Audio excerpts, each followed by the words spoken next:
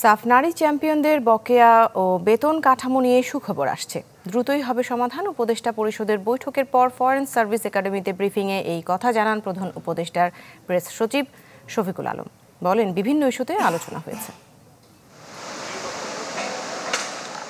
রাজধানী তেজগাঁওয়ে প্রধান উপদেষ্টার কার্যালয়ে বসে উপদেষ্টা পরিষদের বৈঠক।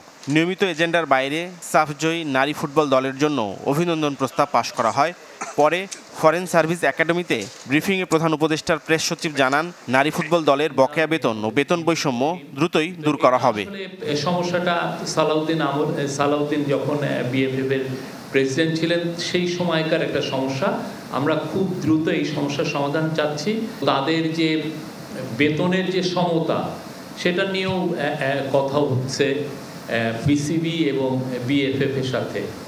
বৈঠকে জাতীয় সংসদের স্পিকারের প্রশাসনিক ও আর্থিক দায়িত্ব দেয়া হয় আইন উপদেষ্টা ডক্টর আসিফ নজরুলকে। ঢাকা বিশ্ববিদ্যালয়ের ভেতরেই একটি স্থান থেকে অধিভুক্ত সাত কলেজের কার্যক্রম চালানোরও সিদ্ধান্ত হয়। ঢাকা ইউনিভার্সিটির মধ্যে ওদের একটা প্রশা একটা জায়গা ঠিক করা হবে যেখানে ওদের প্রশাসনিক কাজকর্মগুলো করা যায়। এবং তাদের বিষয়টা আলাদাভাবে দেখা হবে, তাদের আলাদা রেজিস্টার থাকবে, আলাদা ডেডিকেটেড অফিসিয়াল থাকবে এবং এই পুরো জিনিসগুলো করা হবে ঢাকা ইউনিভার্সিটি আর ইউনিভার্সিটি গ্রান্ট কমিশনের সাথে কথা বলে একটা ডিসিশনে আসা হবে। প্রধান উপদেষ্টার প্রেস সচিব জানান, তৈরি পোশাক শ্রমিক আন্দোলনে কোনো ষড়যন্ত্র দেখছেন না সরকার। আমরা এগুলো বিষয়ে কোনো কনসপ্যারেসি দেখছি না।